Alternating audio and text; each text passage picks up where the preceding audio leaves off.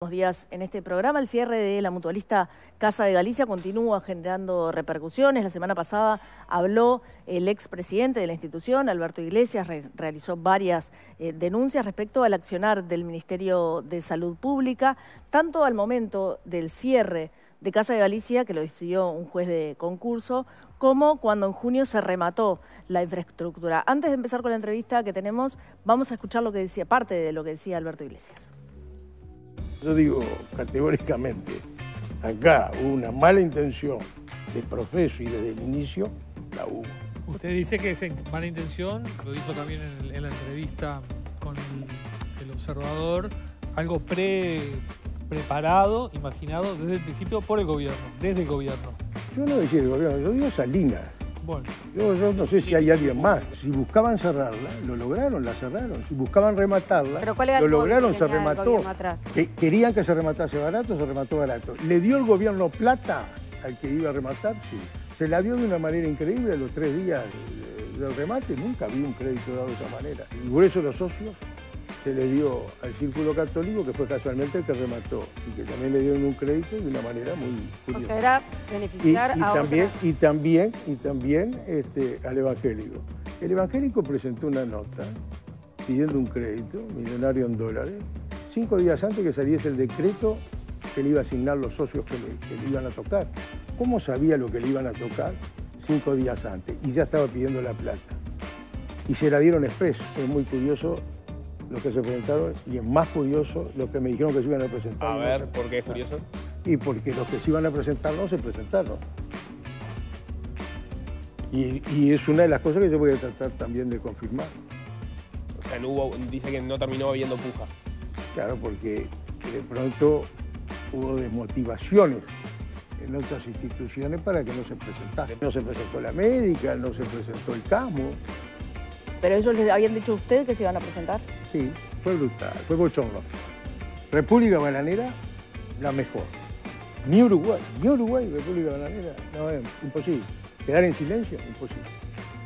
Pero, escuchen esto. ¿Y cuál sería el móvil del crimen? ¿No? Así hablando en manera. Sí, siempre, lamentablemente, el ser humano es muy débil con la parte. Bueno, después de estas declaraciones, el Frente Amplio analiza acciones políticas en busca de, bueno, aclarar lo que pasó con el cierre de Casa de Galicia y su remate posterior. Para hablar de este tema recibimos en estudios a la diputada Lucía Echeverri, que además es integrante de la Comisión de Salud de Diputados. Buenos días. Buen día. Gracias por estar con nosotros. Gracias. Eh, diputada, ¿cuáles son las primeras?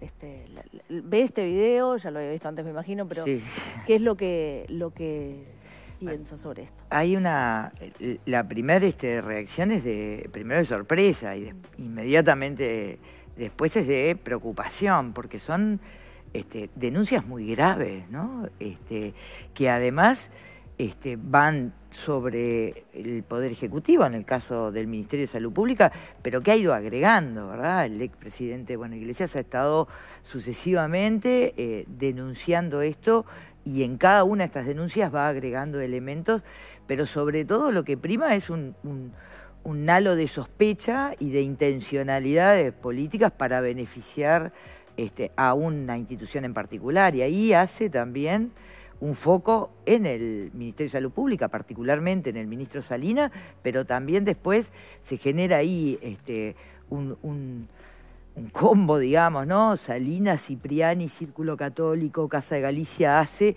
y en ese círculo, digamos, es donde genera todas las, las denuncias sobre eventuales este, favoritismos, digamos, ¿no? Y bueno, ahí hay que, hay que despejar. Esto muestra que la situación no está cerrada. Ahora, eh, ¿cuánto es sorpresa para ustedes esta, esta situación y, lo que denuncia Iglesias? Porque ustedes participaron de, la votación cuando se da el cierre de Casa de Galicias, eh, Casa de Galicia. El, Frente Amplio tiene un representante en el Banco República que es verdad no vota el préstamo este, que se le da al círculo este, católico cuando se da el, remate por la sede de Casa de Galicia pero digamos, eh, la información de cuánto se demoró y en todo caso los elementos que tenían para no votarlo ya los tenían en aquel momento. Estamos a casi un año de, ese proceso. ¿Por qué es la salida de Iglesias la que los motiva a ustedes a empezar a, mirar este, con sospechas el proceso? Lo cierto es que este, Iglesias después, hace un año que prácticamente no había hecho ningún tipo de planteo y mucho menos estas denuncias, ¿no? Sale en este momento. También es verdad que en el préstamo, que una de las medidas que se tomó inmediatamente de eh, conocida estas, estas denuncias públicas fue una solicitud de informe al Banco República para que sea el Banco República la institucionalidad que se exprese si efectivamente ese préstamo fue, tenía un destino y se cambió ese destino, si fue efectivamente evaluado en forma express, como se menciona, si estuvieron todas las variables analizadas, porque eso es parte de la sospecha que ahora se agrega, que en aquel momento no estuvo planteada, ¿no, es cierto? estaba planteada por parte del director del eh, Frente Amplio en el BROW, no, no, no, no tenía esas sospechas en el momento de que mm. eh, no vota el préstamo. No, no, pero no vota el préstamo y en aquel momento, que fue también fue un tema que se debatió públicamente, ¿verdad? Porque conocido el remate generó en la opinión pública también cierta preocupación por, por, algunas condiciones. En ese momento no estuvo en danza este préstamo en particular como dirigido a Casa Galicia. Bueno, hay que analizarlo ahí. Y lo cierto es que el, director de, o los directores, ¿verdad?, que son designaciones también políticas, más allá de las venias, de este tipo de instituciones, no pueden hacer declaraciones políticas ni partidarias. Acá nosotros lo que nos parece importante que se tiene que expresar la institución. Tiene que ser el Banco República Institución el que se exprese y el que clarifique todos estos extremos que se han denunciado ahora. Eh, entiendo eso, pero mi pregunta es si no pudo, eh, más allá de que no salga públicamente, haber advertido al Frente Amplio en la medida que se estaba dando el proceso y que el Frente Amplio termina acompañando el, de Casa de Galicia y cómo se da ese proceso. Sí, pero eso es, estamos hablando, acá en este, la cronología es importante en este proceso, ¿no? De Casa de Galicia. Eh, la definición de Casa de Galicia que pasa, recuerden ustedes, a primero una licitación en la cual no hubo oferentes y posteriormente un remate, es producto, antecede por supuesto todo el préstamo, pero además es producto de definiciones también que tomó el Ministerio y de un proceso judicial. La ley que acompaña al Frente Amplio, que no es lo que hubiéramos deseado. El Frente Amplio lo primero que hizo fue poner a disposición del Poder Ejecutivo y entregamos el 27 de diciembre en el Ministerio un proyecto de ley por el cual eh, eh, se establecía que el propio Ministerio se hiciera cargo de la gestión de Casa de Galicia. Esto salvaguardaba la institución y daba un tiempo prudencial para que el Ministerio, gestionando Casa de Galicia, encontrara los mejores mecanismo para resolver una situación financiera que efectivamente era compleja. Eso lamentablemente no tuvo andamiento y ahí hubo una decisión política de dejar que el proceso concursal avanzara. Por eso, posteriormente, cuando se presenta la ley, nosotros intervenimos fundamentalmente para resguardar para nosotros tres factores que siempre fueron el objetivo. A los socios de Casa de Galicia, en términos de su atención, ¿verdad? Para que tuvieran garantías de buena atención de su salud, las fuentes de trabajo, y la infraestructura en aras de un sistema nacional integral de salud. Y eso fue una situación distinta a lo que se plantea ahora. ¿No hubiese sido prudente que los legisladores del Frente Amplio, a priori, antes de decidir acompañar el cierre, y más sabiendo, como dices recién tú, que no estaban del todo convencidos porque no les gustaba mucho la idea, haber activado algún mecanismo para verdaderamente conocer en profundidad si se estaban dando las condiciones de manera justa para tener esa resolución final, porque eso no se hizo. Es que eso es lo que está hoy puesto en entredicho. Mm. Toda esa información. No, no, no, porque acá lo que está planteando Iglesias es que podría suceder, según lo que ha denunciado, es que el Parlamento recibió, recibimos todos los legisladores, información sesgada o incluso falseada respecto de la situación. Eso es, eso es lo grave, porque lo que está diciendo es se le mintió al Parlamento. Y eso es un tema muy grave. Además de la situación de hacer, es muy grave que eventualmente, como dice Iglesias, ha denunciado, se haya mentido al Parlamento. Eh, solo para chequearlo, porque la verdad no, lo tengo claro y usted señalaba, la cronología es importante. ¿El préstamo del, del BRO fue anterior o posterior a la votación que se hizo en el, en el Parlamento por cierre. Bueno, el préstamo es posterior, es posterior, es posterior. Entonces, eso, es un elemento nuevo y es un elemento además que genera obviamente la preocupación de tener que clarificar y, dar más certeza a la información, esta eh, alusión permanente, esta denuncia permanente, ¿no? esta suspicacia que decían ustedes hoy, sobre eh, el Ministerio, el accionar del Ministerio el presidente de ACE, Cipriani, que además tenía vínculos anteriores con el círculo católico, en un escenario en donde además se han generado otras este, eh, preocupaciones que se están siguiendo este, producto de otros problemas que hay a nivel de la gestión de salud, ¿no es cierto? Que tiene que ver con un incremento muy importante, es decir, un aumento muy importante de dinero que desde hace se deriva el círculo católico para la compra de servicios. Ahora vos mencionás ACE y, ahí te pregunto, em, ahora se vuelve a poner sobre, sobre la mesa todo, estuvo también sobre la mesa que ACE se quedara con Casa de Galicia y finalmente eso no pasó. Ahora, con esta información nueva, ¿cambia en algo la percepción de por qué entonces en ese momento ACE no quiso quedarse con Casa de Galicia? Y es lo que es parte de lo que hay que clarificar. El planteo del, frente fue que el Estado mm. absorbiera a Casa de Galicia.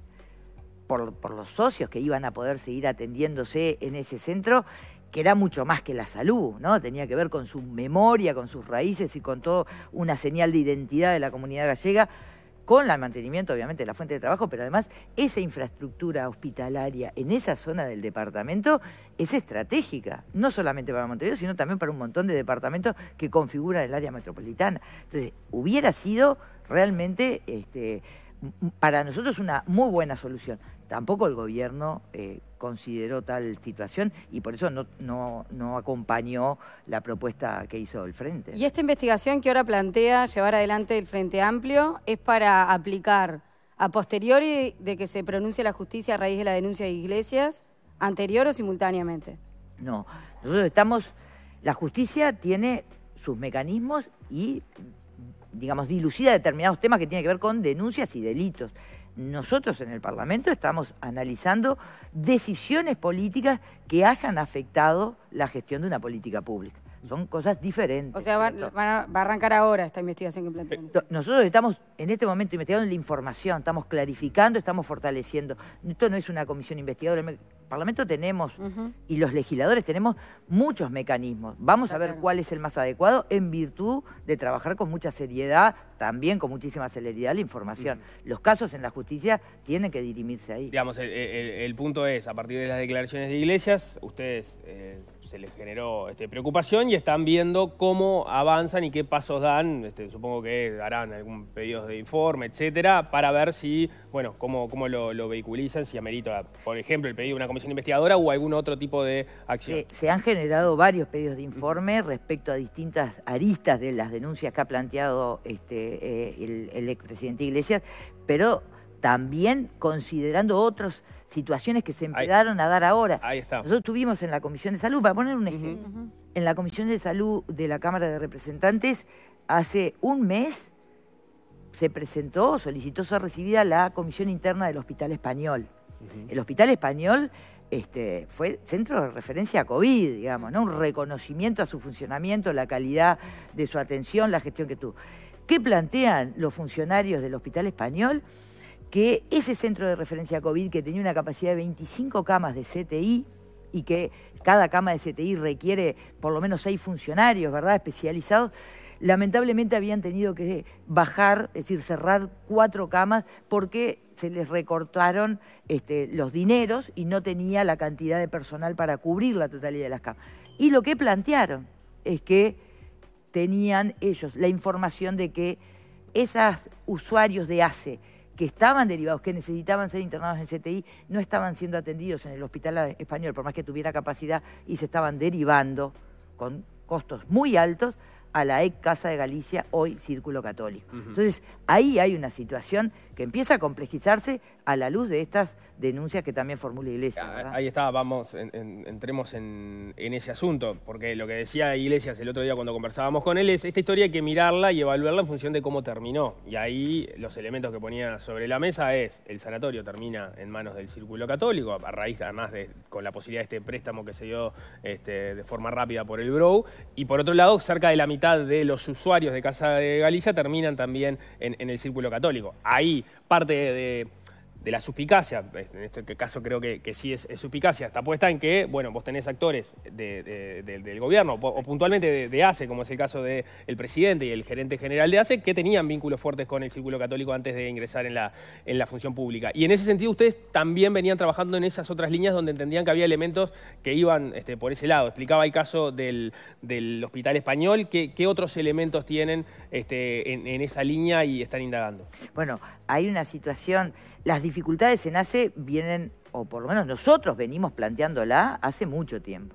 El año pasado hubieron comparecencias específicas del directorio de ACE producto de la falta de medicamentos. Estoy hablando de octubre del año pasado y de ahí sucesivamente... Me, refiero a la, este, al favorecimiento o al favoritismo no, por eso, pero en, ese, en ese marco de situaciones de dificultades en ACE se venía también, eh, además del intercambio con las autoridades en las comparecencias en el Parlamento, el mecanismo de los pedidos de informe. Y ahí los, los compañeros, los senadores del Frente Amplio que integran la Comisión de Salud del Senado, hicieron un pedido de informe hace bastante tiempo, porque es verdad que también hace a veces tiene un promedio, yo, llevo la estadística un poco de los, de los tiempos, 84 días para, para la respuesta, este, y en una de las solicitudes de informe tiene que ver con eh, la compra de servicios al sector privado, que ya no es complementación, es compra de servicios. Y ahí se identificó, y ha sido público también hace muy poco tiempo, que se ha incrementado muchísimo, es decir, ha aumentado muchísimo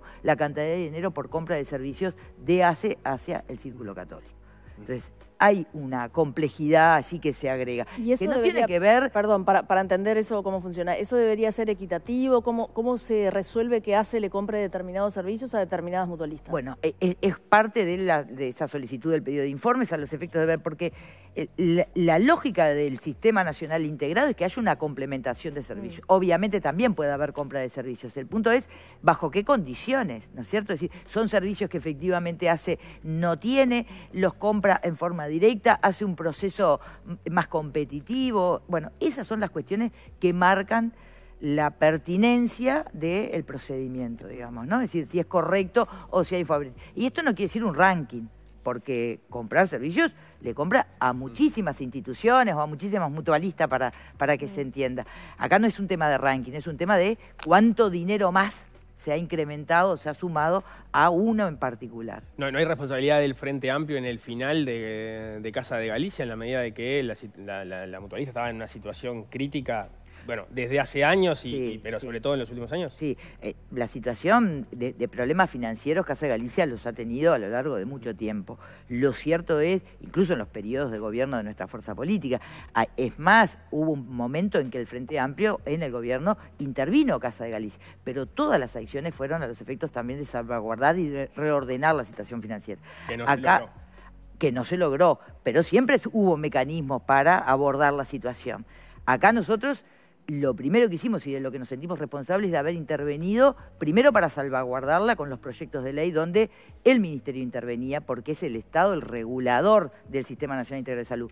Lamentablemente, el devenir de los hechos y decisiones políticas determinaron que continuara el proceso concursal. Y con responsabilidad lo que hicimos fue salvaguardar socios, fuentes de trabajo y la infraestructura. de lo contrario, eso no hubiera sucedido porque el, proyecto de ley del gobierno era un solo artículo. Hay como dos puntos en la denuncia, o sea, muchos puntos, pero como dos grandes momentos en la, de la denuncia de, Iglesias. Por un lado es qué es lo que pasó después de la, de la intervención este, y, bueno, y del cierre de Casa de Galicia, digamos, quiénes terminaron favorecidos, y el otro, lo otro que dice es nos cortaron todas las vías que teníamos para reordenar eh, la situación y de alguna forma impulsaron o, nos empujaron a que este, tuviéramos que ir a, concurso.